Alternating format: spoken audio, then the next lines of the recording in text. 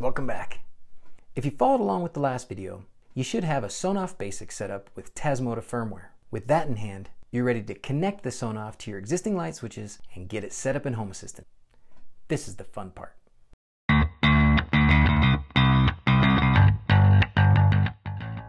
With your USB adapter and your Sonoff still connected to your computer, you can find out if your firmware flashing worked. Go into your router, look under Connected Devices for a new device. Unless you change the project name significantly, it should say Sonoff something. Now copy and paste the IP address of that new device into your browser. If the firmware setup worked correctly, you'll get the main menu of the Tasmota firmware that's now running on your Sonoff. Now while we're here, looking at the Tasmota main menu, we can get our Sonoff ready to become a light switch. Click Configuration, then Configure Module. Then in the drop-down menu for GPIO 14, pick 09 Switch 1, click Save. You'll get a message about the Sonoff restarting. In a couple seconds you can click Main Menu and you should get back to the main screen. That's how you make GPIO 14 into a switch. Now if you're using a rocker switch, like your standard wall switch, that's all you have to do. You're ready to go. But if you want to be a little more tricky and use a push button, then there's one more thing you need to do. Go back to the main menu, click console, and then in this text box, type switch mode 1 space 4 and hit enter. That command changes the function of GPIO 14 so that when you connect a push button switch, if it's on and you push the button, it'll go off and stay off. And if it's off and you push the button, it'll go on and stay on. You don't have to restart the Sonoff for the switch mode command to take effect. It starts working as soon as you hit enter. If you're interested in really getting into what the Tasmota firmware can do, there's a whole list of commands that you can type in at the console and do all kinds of stuff. Now you can solder a wire to GPIO 14 and to the ground pin. So we've got wires soldered to GPIO 14 and the ground, and we just run those to our standard rocker switch. Now we're ready to put it in the wall. Make sure your breaker's off. There's a few different wire arrangements that you might find inside your switch box. If you see this inside your switch box, you're in trouble because you have to have wires coming from the circuit breaker as your input and then wires going to the lights as your output. If all you have are the two wires that go from the lights to your switch, you won't be able to connect to Sonoff. Sorry. Go find another switch. Hopefully when you open your switch box, you see something like this.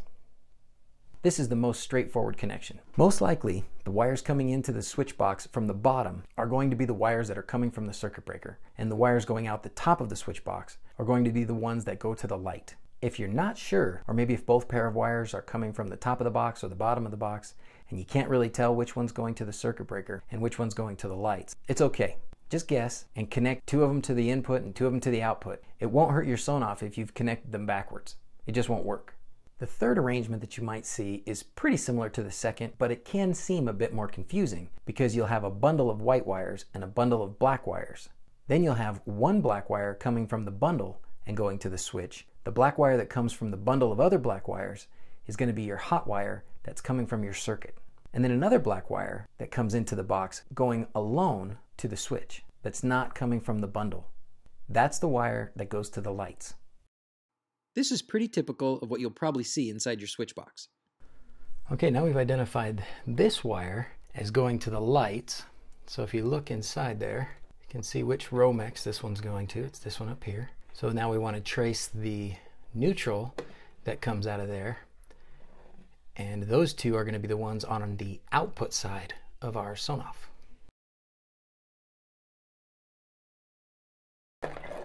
It's November. Why am I sweating? This and this are our input main hot circuit that's coming into this room that's powering the lights and plugs. And then these two are going to be the output from our Sonoff and they are just going to the lights. All right, we're going to connect short flexible wire to this more firm solid wire because flexible wire is easier to work with.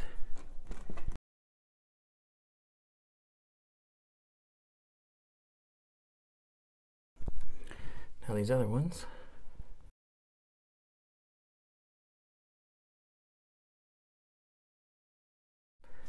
So this is the input side, this is the output side, this is the neutral on top, this is the black on the bottom. This is the input line side. Okay, nice and tight. This is the input neutral side.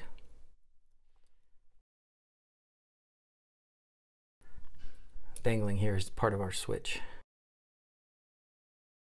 This is the output neutral. This is the output line or hot. Okay, you can always go back and double check with your cover. Output's going to the switch, input's coming from the main circuit. I definitely would not put this back in the box without covering it with something. You may be able to put the plastic cover back on, but it does stick out a little bit. So I just like to wrap it in electrical tape. All right, it's time for the test. Let's go turn the circuit back on. Here's our switch.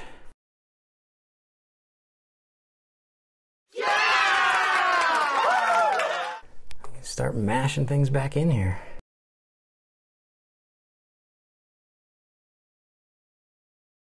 Hey, circuit breaker's in the basement, so I'm winded again. Okay, I think I got it. Ready?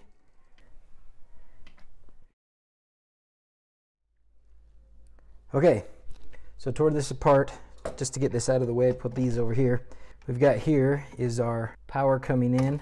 Uh, so I tied in a flexible wire, so much easier to work with. Flexible wires to the Sonoff, and the Sonoff case was not going to fit. So once I connected everything, I just wrapped it in electrical tape. So this is the input and this is the output. This goes up to the light, the porch light outside. And then this is our regular switch and it's just connected to the regular switch poles with the small wires off of the Sonoff. It's all connected. I'm about to power it up and it'll either explode or it'll work.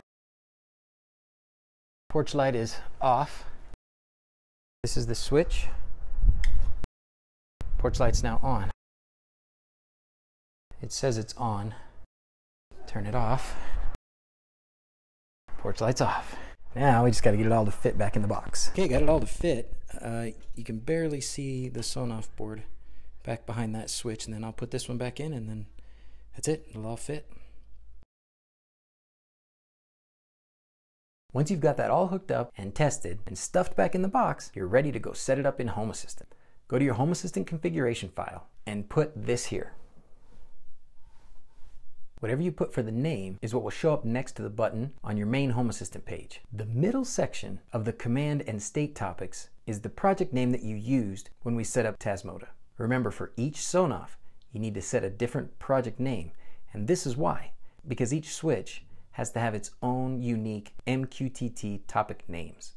That's it. Save it, check your config, restart Home Assistant, and it should work.